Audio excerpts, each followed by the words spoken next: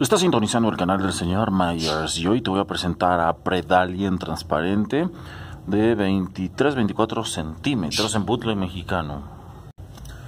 Aquí lo vemos lateral, es algo bien padre porque sí hubo una producción donde lo podías encontrar el año pasado, porque este es del año pasado, este Predalien transparente y aparte de que pues tiene la cualidad de ser transparente, bueno, tiene uh, pintura azul y roja, verde. Eh, está bien articulado y pues estéticamente está a 2-3, así, así como lo ves, se ve genial, no sé cómo lo veas tú.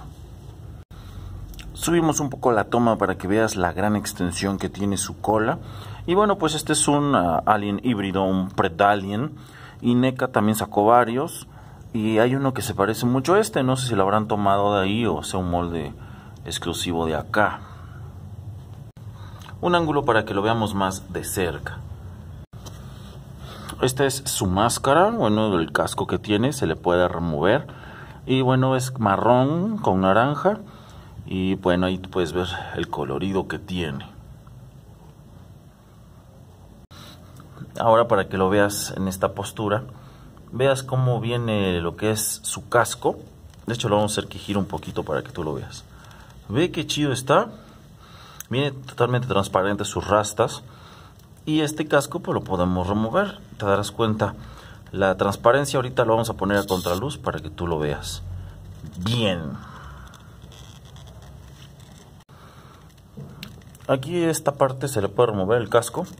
Y pues te puedes dar una idea de cómo viene. También es como de gama media.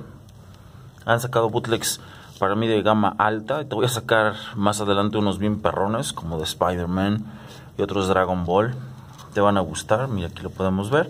Tiene el orificio, pero especialmente para que uno le pueda poner aquí el casco. Y, y queda bien, de hecho aquí tiene un pivotito, ya nada más se lo ponemos. De hecho quiero enseñarte la articulación que tiene, es una articulación como de tornillo, que tiene una buena extensión. Esto se puede desprender, está como cuchilla tiene un orificio y podemos ver. Se le puede mover la muñeca bastante bien. Y pues el brazo de manera tradicional. Bien, ahora vamos a ver la cabeza, se puede mover izquierda a derecha. Tiene buen rango de movimiento. Y bueno, podemos hacer que ataque. Estas son sus piernas. Se le mueve la cintura puedes ver la movilidad de la cintura y dar golpe, las garras. Se le puede mover las piernas hacia el frente y hacia atrás, la rodilla no, ni los tobillos. Eso es respecto a la articulación.